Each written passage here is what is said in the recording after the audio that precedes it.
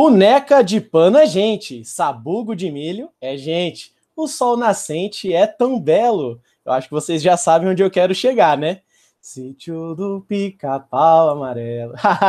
Bem-vindo, bem-vinda ao canal do NUPEC, o Núcleo de Pesquisa em Quadrinhos da Universidade Estadual de Mato Grosso do Sul, a UEMS. Eu sou Thales Vieira e esse é o canal que não é um ornitólogo, mas temos muito apreço, principalmente pelas aves amareladas que são capazes de perfurar galhos e troncos com o bico, hein? Bom, para você que está nos assistindo, aproveite esse momento se inscreva no nosso canal, principalmente se você for também, assim como nós, fãs do Monteiro Lobato, e você vai entender e vai gostar muito da novidade que a gente vai falar aqui no programa hoje. Então aproveita, e se você também é aquele fãzinho do sítio, da nostalgia, já deixa o seu like nostálgico nesse vídeo. E também toque o sininho, ative o sininho de notificações para receber as nossas novidades sempre em primeira mão.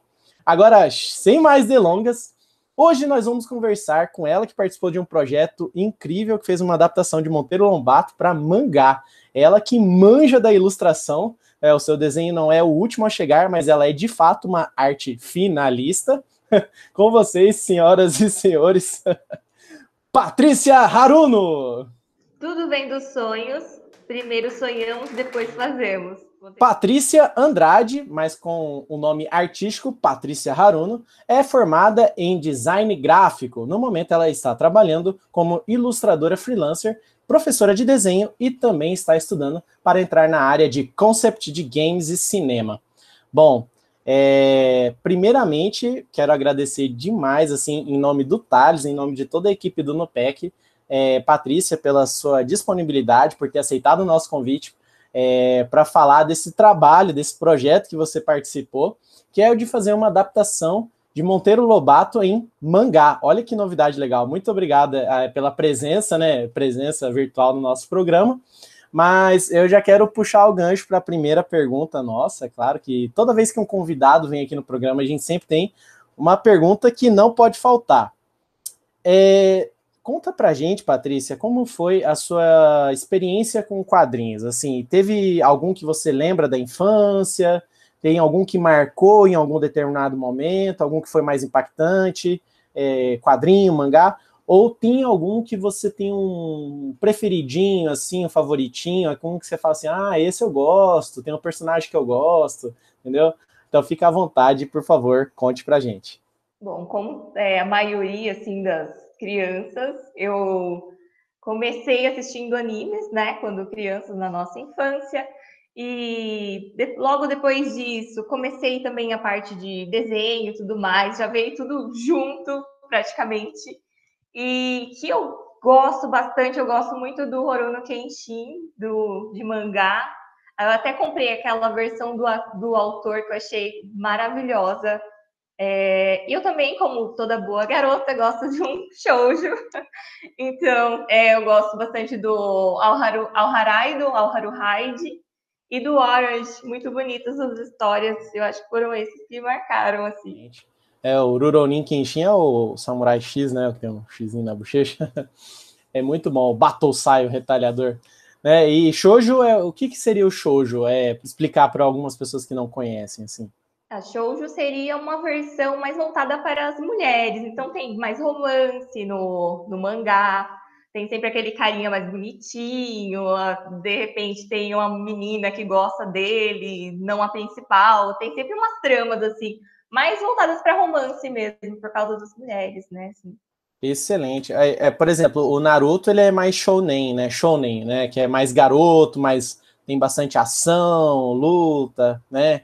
Aquela coisa. E o shoujo, shoujo é, eu lembro que eu tinha um que eu gostava na infância, do desenho que passava na TV, que eu confesso, que eu era bem novinho, tá? Mas assim, eu gostava que era o Sakura Card Captors, né? Eu acho que ele era um pouquinho mais essa pegada. Sailor Moon já não era muito minha pegada, mas o Sakura eu gostava bastante. É, bom, então vamos falar. Você começou a gostar desses desenhos, da, da pegada do mangá, dos animes, e aí você começou a desenhar também para é, porque gostava desse estilo? Como é que foi, como foi a trajetória de começar a desenhar? Veio cedo, veio tarde? Como é que foi para você, Patrícia? Desde criança eu desenho, né? Desde criança já vim com aquele, nossa, o dom. A professora levantava o desenho para a sala inteira ver, ficava falando, nossa, levantou o desenho dela. Então, desde criancinha, eu já, já tenho o famoso dom, né? Um pouquinho mais para frente, ali por meus 10 anos, eu comecei a desenhar com meu tio a partir de revistas mesmo de animes. Então, tinha lá o Dragon Ball, o Naruto, tudo, todos esses, o Pokémon. Aí a gente copiava. Eu lembro que a gente passava tardes copiando aquelas revistas. Isso, aí eu comecei a desenhar nessa parte de, da infância e através das revistas mesmo. Ah, entendi. Legal, hein, Patrícia? E aí, é, você chegou a fazer um curso superior nessa área da, do desenho, da estética, da ilustração? Ou você fez só um curso e depois foi trabalhando na área? Como é que foi essa parte da formação sua? É, bom, eu cheguei a me formar em design gráfico. O design gráfico não é exatamente ilustração. Pessoal que vai buscar faculdade, que desenha, não vá no design gráfico, não tem nada a ver. Mas, mas todos os estudos, tudo que a gente estuda, com certeza agrega conhecimento, né? Então, tem a parte de cores, a parte de design, tudo, tudo ajuda. É, eu fiz o, o design gráfico é, depois eu fiz um curso de desenho aqui na própria cidade de Jundiaí, é, para aperfeiçoar né, as, as, técnicas. E hoje em dia eu também é, fiz algumas mentorias ali no, no meio ali da, fiz algumas mentorias com artistas famosos, como a, a Sula, que é a que faz as cartas do Red, Redstone, não sei se você conhece, de jogos, muito legais, artes maravilhosas. É, e eu e estou fazendo agora, estou cursando é, um curso para fazer design de games, personagens de games e concept art. Aí é voltado para jogos e para cinema, para fazer cenários e tudo mais. É bem bacana, estou adorando. Puxa vida, que legal! E com certeza a ilustração, a arte, né, é, gráfica é, é uma linguagem, né? É uma, é uma, é, nós que estudamos muito as várias linguagens, os vários tipos de artes, né, somos apreciadores, é bem legal ver uma pessoa se desenvolvendo, né, para chegar até os games, que também são bem consumidos, né, acho que se eu não me engano, os games hoje em dia são considerados a décima primeira arte, né, os quadrinhos são a nona arte, e aí eu quero perguntar para você uma coisa que, que passou por mim, é, o que faz de fato, né, um arte finalista, né, porque a gente conhece muito o trabalho do cartunista, do ilustrador, do chargista, né, do quadrinista, e o arte finalista, qual que é mais ou menos a, a responsabilidade ou como que é o princípio da, do, do trabalho que ele executa? Bom, como o próprio nome diz, finaliza. o criador, na verdade, do mangá, que é o Renato, fez artes maravilhosas, ficaram lindas. Eu acho lindas as artes dele, super tem movimento ali, são super carismáticas. É, depois que ele terminou e ele fez o esboço, fez o, o, desenho ali um pouquinho mais forte, aí eu recebi essas artes, fiz o contorno, é, digitalizei e passei para o computador, porque a gente fez de uma forma manual, falando do mangá.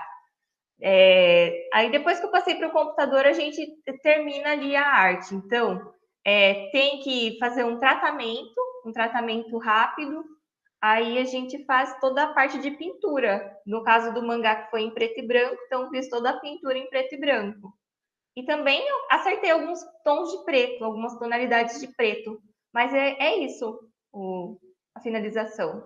Puxa vida, que legal. E também não é só, como por ser mangá, o mangá clássico mesmo, né, em preto e branco, não é também só pintar em preto e branco, tem o sombreamento, né, tem que nem você falou, os tons de preto, porque às vezes uma, um personagem ali num determinado ambiente talvez esteja um pouco mais escuro, mas ele tem um tom de preto diferente, né? Então, assim, são as nuances. Aí você fez toda essa finalização, né? No caso, com as cores.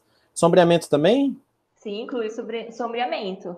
Bom, é, outra pergunta da nossa pauta aqui para perguntar para você é que é, nós vemos muito constantemente vários artistas, autores, geralmente homens, né? E é um pouco um pouquinho mais raro encontrar, né, pelo menos para o grande público, é, mulheres já nesse mercado dos quadrinhos, do, é, de trabalhos ou até mesmo de arte finalização.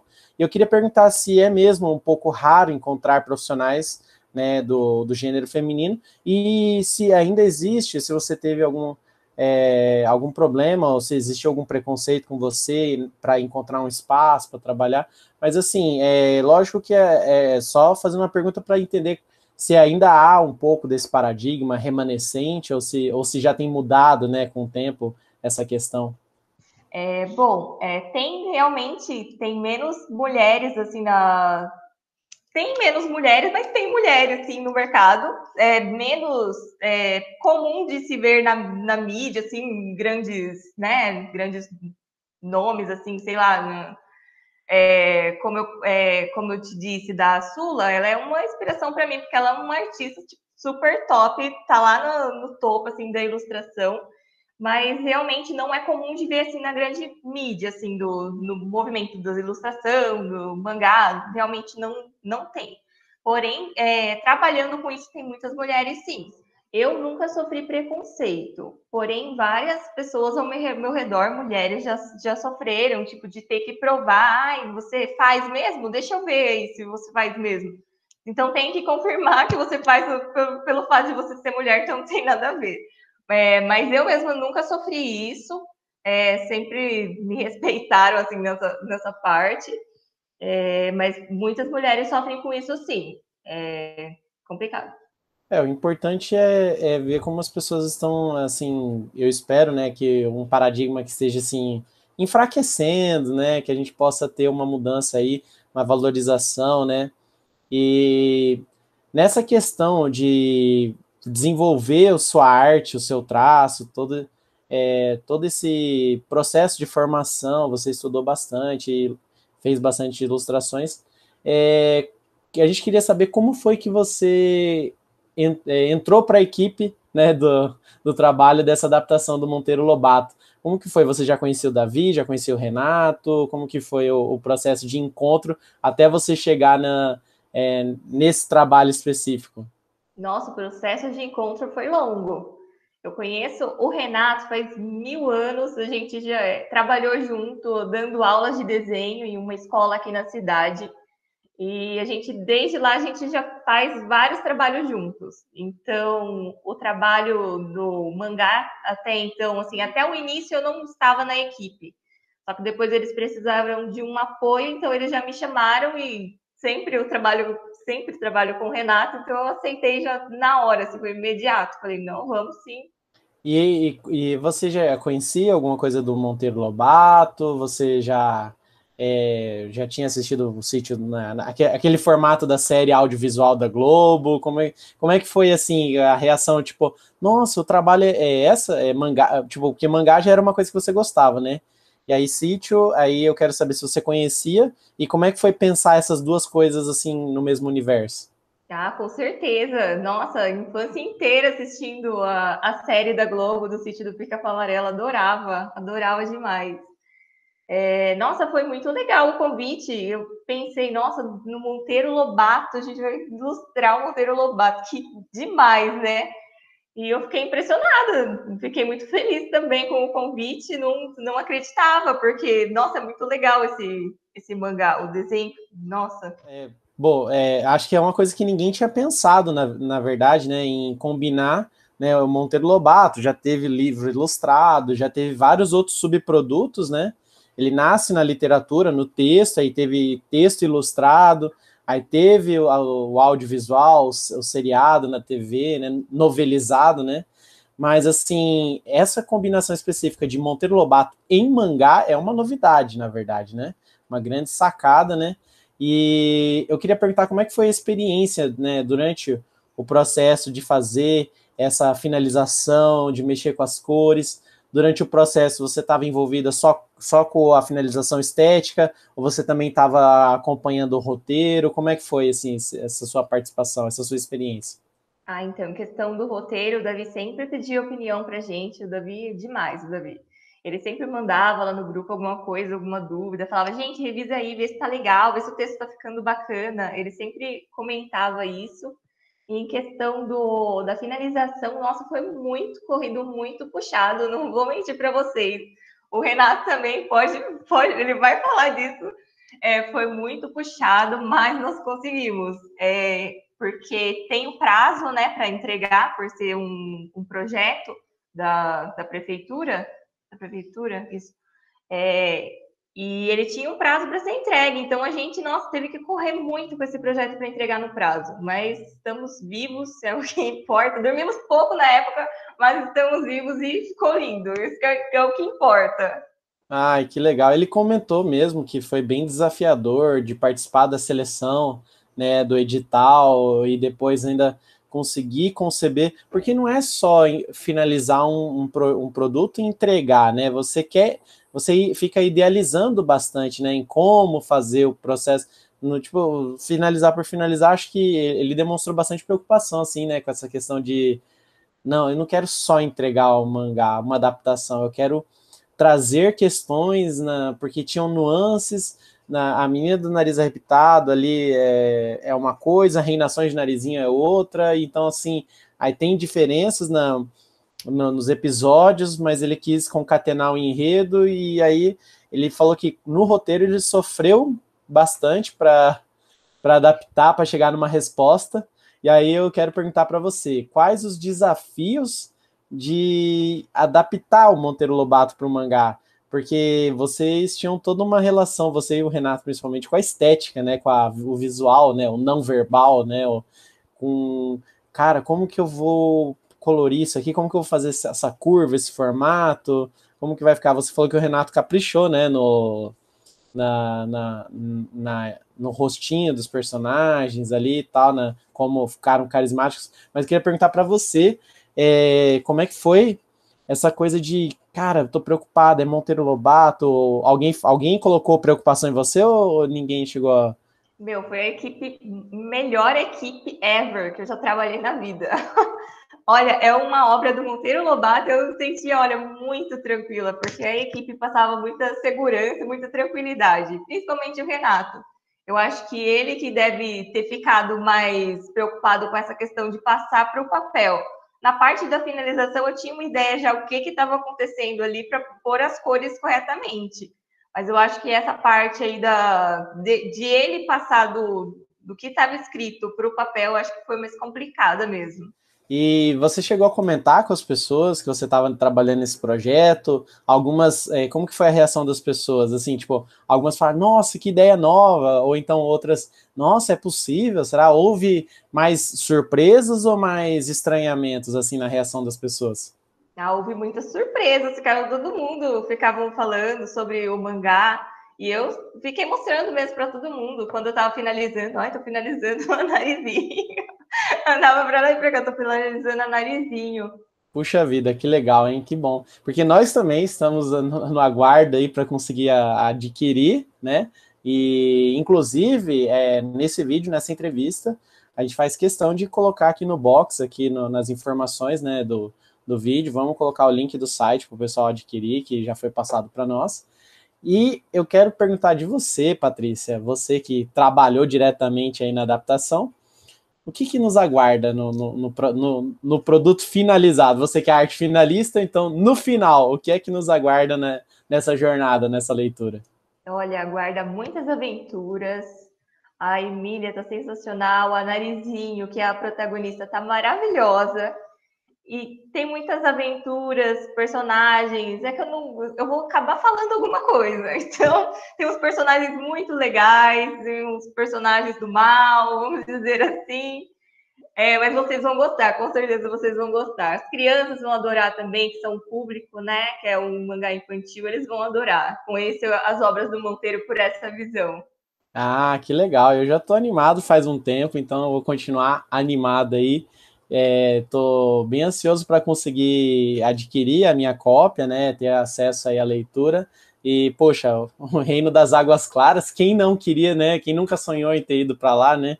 Participado, né? Do, do, dos eventos, do casamento, né? Da, da Narizinho. Bom, é, não vamos dar spoiler aqui, então, pro pessoal, né? Vamos deixar o pessoal no suspense. Promessa da, da designer e arte finalista Patrícia. Então, Patrícia Haruno, que vai ter grandes surpresas. Patrícia, é, a gente sempre no final aqui deixa é, o microfone aberto para o convidado, se tem alguma mensagem, mais alguma coisa que faltou falar, gostaria de ter falado.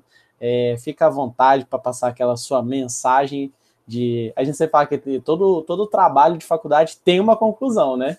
Então, assim, dessa jornada, dessa sua experiência aqui, que você falaria assim como, ó, oh, isso aqui foi o, uh, foi o, digamos assim, foi o, o que eu aprendi, foi o que eu levei, foi, o, foi a bagagem que eu adquiri. Bom, gente, eu tenho para falar para vocês que na escola, quando eu estudava, estava, sei lá, no segundo ano, falei para minha professora, tinha um trabalho para a gente fazer do que a gente queria ser quando a gente crescesse. E eu fiz esse trabalho dizendo que eu queria ser mangaká. Não virei mangaká, porém estou aqui ilustrando. E olha onde eu vim parar, gente, no mangá da Narizinho. Então, gente, acredite nos seus sonhos e faça eles também acontecer, né? Vamos fazer os sonhos acontecerem. Bom, nesse caso dá para falar que você literalmente desenhou o seu sonho, né? é verdade. Patrícia, mais uma vez, muito obrigado, em nome do Thales, em nome de toda a nossa equipe do NUPEC, pela sua disponibilidade, pelo seu carisma, né, por ser essa pessoa tão legal aqui conosco, nos, é, tirando um pouquinho do seu tempo para fazer essa entrevista, esse bate-papo com você, tá? Muito obrigado, você é muito querida, muito gentil. Então, assim, é, obrigado pelo, pelas duas maneiras, né, por ter feito a entrevista, ter topado e também por ter se empenhado, né, de coração, dá para perceber que você teve muito carinho para fazer esse trabalho, né, bem realizado.